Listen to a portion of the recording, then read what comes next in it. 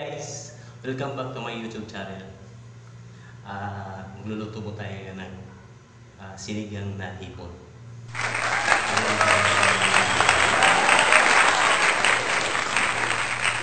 Kamatis, tomato. Then, ito lang yung sahog ko. Onion.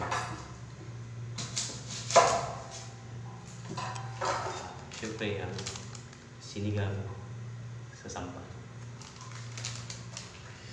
Yan. Bali, hiwain ko lang muna yung kamatis.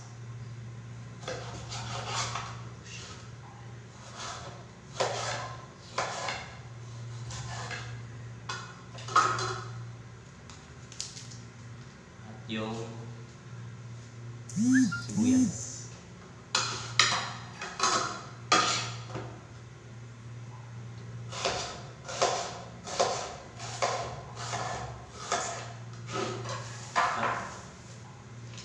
At ito lang po yung gulay ko. Isang talong. Ito lang po yung aking ihahalo. Okay. Para konting tipid po. Ilalagay ko na po yung kamatis. Lugasan ko na po ito ah, bago ko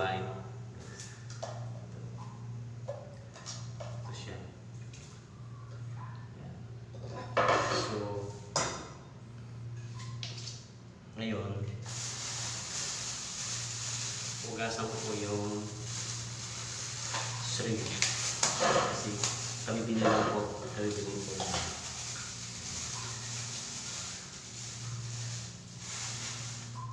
Ito siya. Shrimp. Yan. Yan. Guys. Ah, i-focus ko lang muna guys ha. Hi guys, welcome back. Linisan ko muna yung hipon, tatanggalan ko ng tatanggalan ko siya ng ah, balbas. Tawag ko. Yan. Ko muna ha. Tapos, ah, pinapakulo ko na yung kanyang sabaw. Ah, may timpla na siya. Tapos, ilalagay ko na ng gulay. At isunod ang shrimp. Yan. Tiyatanggulan, tiyatanggalan ko lang siya ng ng ah, balbas niya. Kasi mahaba balbas. Yan. Sariwa, sariwa pa siya guys. Kung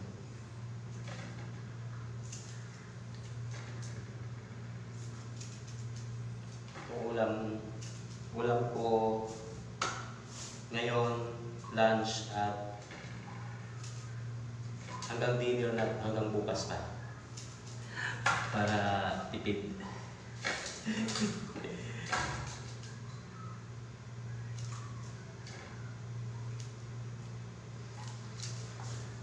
Yan guys, malapit na tapos. Pakulo na yung aking so, so init eh, init sa labas. Karating lang namin. Binili namin itong shrimp. So, medyo mainit pa dito. Kaya, ingat-ingat po tayo guys. Huwag natin babayaan ang sarili natin. Dapat alagaan natin sarili natin sa panahon na ito. Dahil mahirap po. So, so malapit na siya matapos.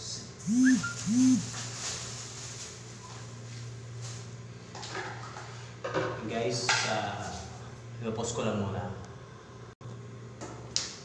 So guys, uh, hiwain ko muna yung talong.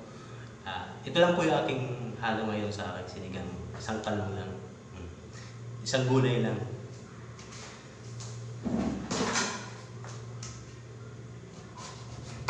Kasi niyo po kung ilan yung gusto nyo halong gulay, nasa inyo po.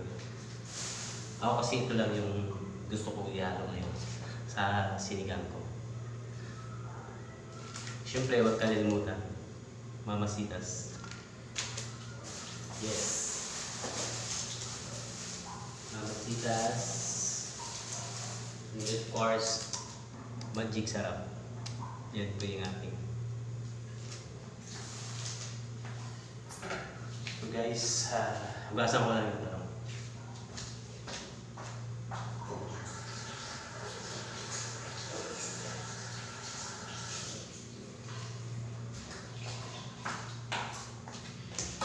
Iwain ko po muna. One, two, three, four, five, six, seven, eight, nine, ten. Guys, unahin ko ilalagay yung unahin ko lagay ilalagay itong gulay ito. Yan. Tapos haluin natin. Okay.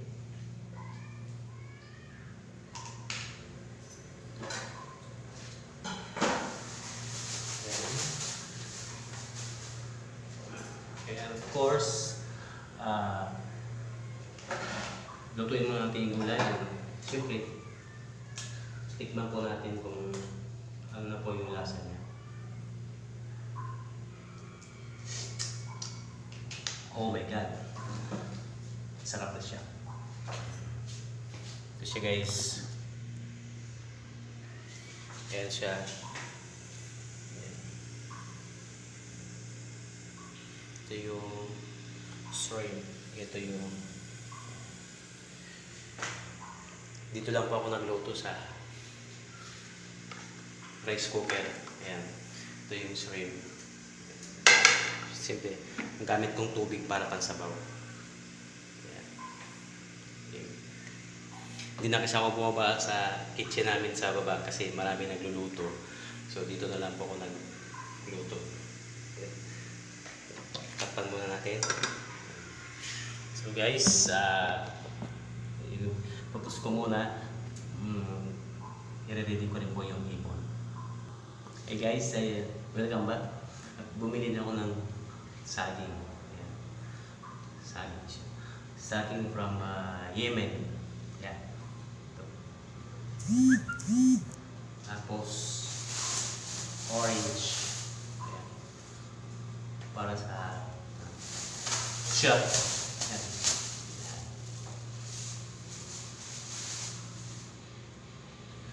So, ito hindi pa masyado hinog. Ah, bukas siguro hinog na. So guys, ilalagay ko na yung shrimp dito sa para maluto na siya. Ayan.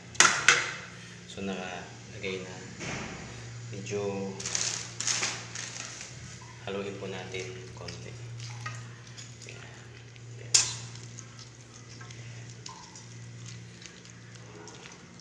Yan siya. So, ilang ilang minutes na lang yan at maluluto na. Yan. At syempre,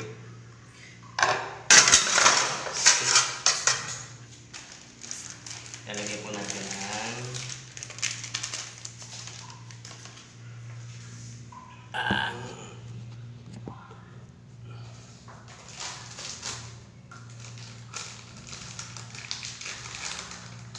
Lalagyan na po natin ang mamasitas.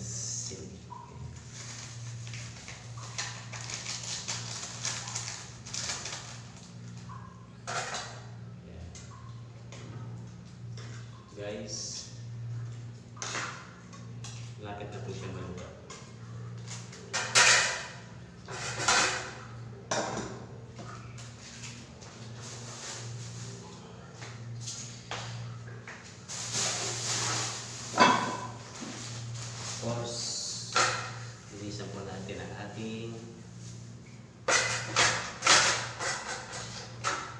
postpone na natin sandali. So guys, welcome back. Ito, luto na siya. Ayan.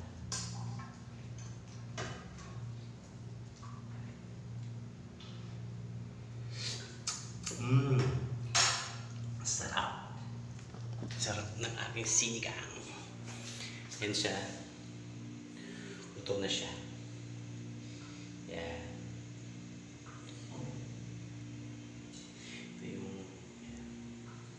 So guys, uh, thank you. Uh, please uh, don't forget to subscribe my YouTube channel sa mga mga subscriber ko, pasensya na ngayon lang ako nakapag-upload ng video ulit dahil mahirap dito sa amin ngayon dahil lockdown, hindi kayo masyado makalabas. Pag may importante lang, saka lang kami makakalabas. Kaya ngayon lang din ako makakapag-upload ng aking video. So, so guys, thank you very much at uh, huwag kayong magkasawa manood sa aking YouTube channel. Thank you. Thank you.